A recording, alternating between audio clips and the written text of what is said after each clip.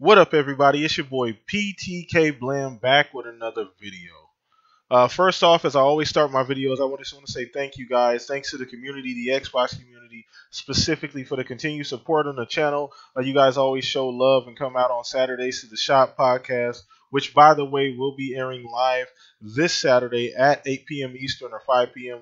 Pacific time this Saturday. Gonna try and get a, a really good guest on. You know, we always have great conversations. Just want to say thank you for the continued support and my drive to a thousand subscribers. I'm really trying to hit a thousand subscribers before my birthday, which is in December. So let's make it happen, people. If you're not already following me on Twitter, if you're not already subscribed on YouTube, please go do that. Please leave a thumb. Uh, please leave a thumbs up here on the video. Uh, just appreciate you guys' continued support. So uh, on to today's video. So as you guys can see in the thumbnail, I'm talking about Recore today and my first impressions. Now, the game's been out for a little bit now. It's been out for a few days now, and um, I've gotten a chance to play the game. Huge shout out to HP and Black Tiger. I did win a contest uh, or giveaway, sorry, and I was able to get the game. So that's awesome. But I'm really, really enjoying the game. My family loves it. Uh, my kids loves it. My wife is really, really in love. She loves Joule as a female lead character. She loves all of the bots. So it's really, really interesting game. So I just want to kind of give my uh, first impressions on the game. So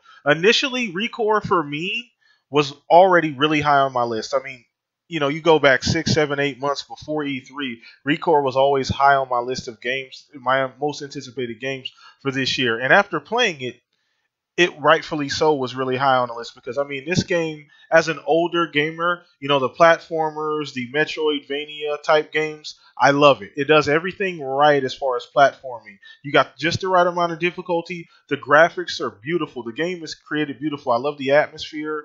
Um, you know, I love the setting. You know, it's kind of desolate. Um, it's not a whole lot going on, but it's a pretty much like an abandoned planet. You know, you're like the only human there. So, um, you know, what can you what, what can you do about that? So, and I also just love the fact that the, the setting, um, the way Joule interacts with uh, you know the bots. It kind of reminds me of a WALL-E, where you know you you can understand the bots don't talk, but they convey you know emotion really really well, and they did a really good job at doing that. So I'm very very interested. I'm still kind of early into the game. I haven't I've probably put a couple hours into the game thus far, so I'm pretty early into the story. So I'm really, really um, hoping to see and hear more of the story or the backstory of the game because um, just so far it seems very interesting. So now I want to move on to like the mechanics. The gameplay mechanics are crisp. They're they're phenomenal in my in my opinion. Crisp. Um, I don't find myself having too much trouble. Um, the learning curve is definitely a steep learning curve. Some of those dungeons are pretty challenging. But like I said, I'm an older I'm an older gamer, so I appreciate that. You know, a lot of a lot of these games uh, kind of reminds me of Ori in the way where the game is is challenging, but it's not Dark Souls overwhelmingly challenging. Like holy shit.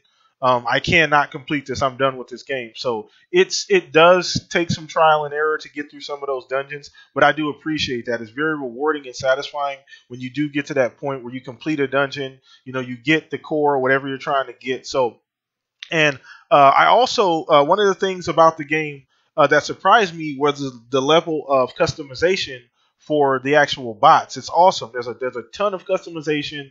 Um, there's a ton of different things you can do, crafting, um, a lot of RPG elements, which I wasn't sure because when the game before the game came out, we got very very little information on what type of game it was going to be. Uh, I had there were some rumblings uh, behind the scenes, and I heard from a few people that it would be like an open world adventure slash RPG, kind of a hybrid with all of those elements all tied together. So it kind of ended up being true. Um, so, you know, kind of more more so an an open world. You know, you can go in do the dungeons. There's obviously some crafting, some RPG elements. So that was actually a pleasant surprise for me. I do enjoy, um, you know, crafting. It can get a little bit grindy because you do have to go back to areas to, you know, to grind up to get cores and to get materials to get certain things. But what game isn't that way, you know, nowadays? So I appreciate it. It's not it's not grinding to the point to where it's like you're loathing going in another area. You know, it's not something like uh, Vanilla Destiny or something like that that you just kind of you kind of over it. You know, you do it three or four times, you're like, oh my god, I don't want to do this again. So it's very, very rewarding though when you do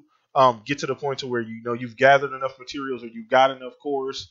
Um, I feel like the the bots and the AI are, are work well together. I don't feel like one's stronger than the other. You know, as far as the enemies versus the bots, I feel like they're they're they're pretty on a uh, they're pretty on an even playing field. So uh, that's another thing that I appreciate. Overall, Um, I think the game is fantastic. Now there have been some some gripes from some people. People were talking about the load times in the game, which I didn't really see that that was an issue. I mean, the load time was maybe 20, 30 seconds, which isn't a big deal, um, in my opinion. So I didn't think that was that bad to begin with. But they did send a tweet out today. There will be patches out here within the next couple days to fix and clear up those load time issues some people were experiencing. So it's glad to see that they're on top. Armature is on top of the game.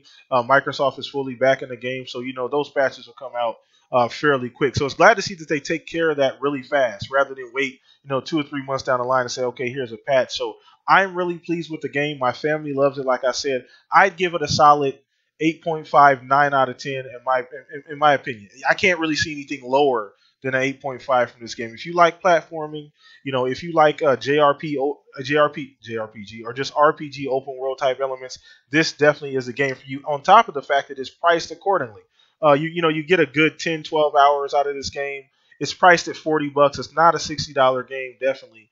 So I feel like they did. They hit the nail on the head. Armature, Microsoft hit the nail on the head. It was above my expectations uh, since I went into the game not really knowing much about it, but it definitely cleared that hurdle. So if you're on the fence right now about purchasing Recore, please go support this game. These type of IPs is what Microsoft and Xbox One needs. It's what makes the system different.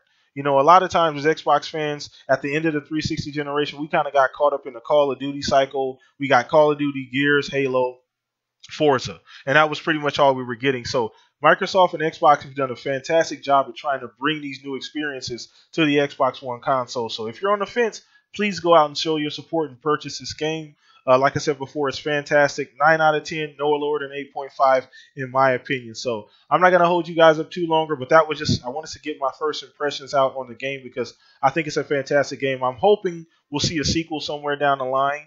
Um, maybe they can build on the platform that they already have. So that's all I got for you, everybody. Don't forget to rate, comment, and subscribe this video, everybody. Uh, we're racing towards that thousand subscriber goal. Like I said, I appreciate the love and the continued support. I got a bunch coming. There's so much that I want to talk to you guys about, but I'm going to save that for another video, or I'll save it for maybe even a podcast on Saturday. So I appreciate you guys' love and support, and I am out of here. Buy Recore, people. Go pick it up. You guys take it easy. Have a good day.